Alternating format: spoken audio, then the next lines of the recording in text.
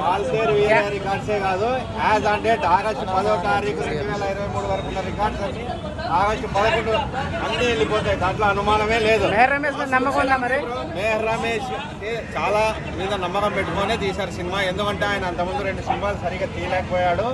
కానీ మన బాస్ కాబట్టి ఇందులో ఖచ్చితంగా బాగా తీసింటాడని ఎక్స్పెక్ట్ చేస్తున్నాం. దాంట్లో చెప్పాడు కదా ఆగస్టు పదకొండు దేఖలేంగే అని. ఆ ఒక్క డైలాగ్ తోనే మొత్తం చించి పారేశాడు అన్నయ్య. పోలా శంకర్ డబ్బులు బొక్క టైం బొక్క ఆ, డేట్స్ బొక్క మా టైం బొక్క మా టికెట్ బొక్క థియేటర్లు వేసినందుకు థియేటర్లకు బొక్క అన్ని బొక్క అనమాట అసలు బాగాలేదు సినిమా.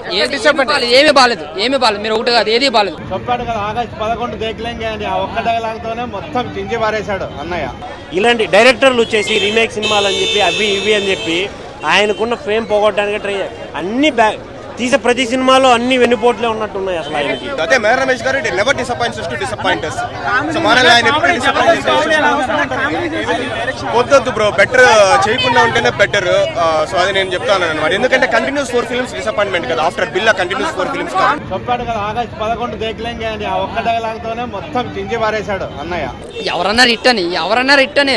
ఇట్టల బొక్క ఏమీ లేదు సినిమా. నేను చెప్తున్నాను కదా మీరు నమ్మితే నమ్మండి లేకపోతే. నా వరకు చూసుకున్నా కాదు. నాకు నచ్చిందంటే సినిమా చాలా వరకు బ్లాక్ బస్టర్ నాకు నచ్చలేదంటే మొత్తం సినిమా ప్లాఫ్ ఈ సినిమా ప్లాఫ్ అని చెప్తున్నాను ఓపెన్గా